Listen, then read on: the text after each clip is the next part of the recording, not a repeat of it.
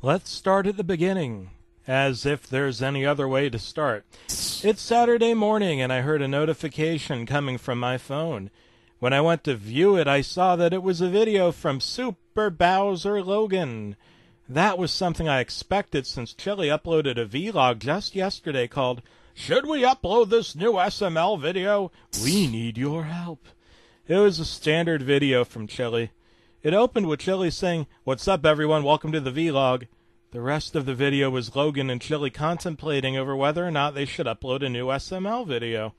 It seemed like they wanted to upload it, but were afraid YouTube would take it down. Those bastards. I guess they decided to upload it anyway.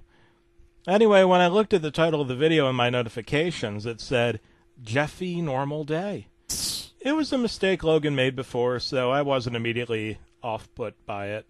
What threw me off was the thumbnail, however. It was just a picture of a grassy hill but tinted purple. However, when the video started, it was just like a normal SML video. Bowser Jr. and Jeffy were playing a game of catch. Jeffy threw the ball at Jr., and Jr. did the same with Jeffy. When Jr. threw it, it hit Jeffy in the head and he started crying. That is when something weird happened. The video suddenly froze. I couldn't interact with it in any way. I then closed out of YouTube and reopened it, and the video was back with the proper title SML Movie, Jeffy's Normal Day, and thumbnail.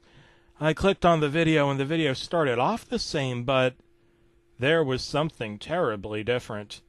Instead of throwing a ball, Jeffy and Junior were throwing a butcher knife at each other. And instead of Jeffy getting hit in the head, he got stabbed right in the middle of his head. There was blood spewing from the cut in his eyes and mouth. I managed to grab a screenshot just before he left the frame. Junior screamed and quickly went inside. He went to tell Mario about Jeffy, and Mario ran outside as fast as he could. But when he made it to the backyard, Jeffy was gone. No trace of him being stabbed, not even one drop of blood on the ground. The video froze again, but after about three seconds, the video completely restarted. This time it was nothing like the last two iterations. It appeared that the camera was just laying on Logan's bedside table in his bedroom. It was like that for about a minute. Then Logan came in with the junior plush and picked the camera up. I realized that the camera was picking up the events before the video began. Logan held the junior plush in front of the camera as if he knew the camera was filming. The plush was completely ripped up almost as if it was stabbed multiple times. It was also completely covered in blood. Then there was an abrupt knock at the door, and Logan put the camera back on his table along with the junior plush. In the background, I could hear him opening his front door, followed by a screeching voice that sounded a lot like Jeffy. I heard a gunshot and then a huge thump, along with the camera shaking violently. Blood pooled in from where the front door was, and Jeffy came into the scene with a pistol in his hand. It looked like he still had the wound from the knife. Lance was very clearly holding him, and there was blood coming from where his hand was, almost as if he was stabbed in the hand along with Jeffy. He didn't notice the camera at first during that segment.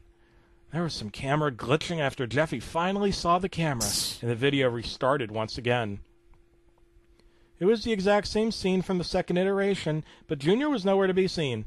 The scene cut to Jeffy, but he didn't have any reactions. Wasn't even moving camera panned down and Junior's mangled corpse came into view. He was brutally murdered, presumably by Jeffy.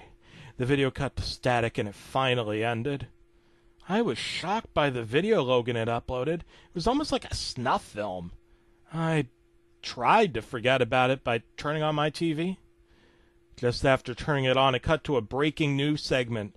The segment was about how a mass murder took place in Florida. I thought of it as a coincidence since Logan lives in Florida. The news said it was then spreading to surrounding states and there was no way to stop it. They said they were going to show a clip of the killer in action, but for some reason the video was complete TV static. I don't know if this was a mistake, but it sure was creepy. As of writing this, there have been no recent incidents in my state.